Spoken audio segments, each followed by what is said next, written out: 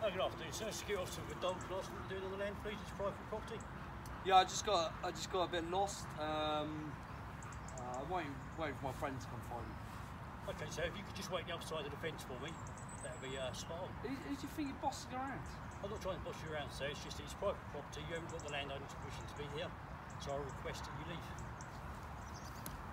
Uh, so what are you doing? Can I see your hands, please? No, On his- no. Sir, can you show me your hand, please? No. Keep them visible at all times. But this hand. Officer, dog!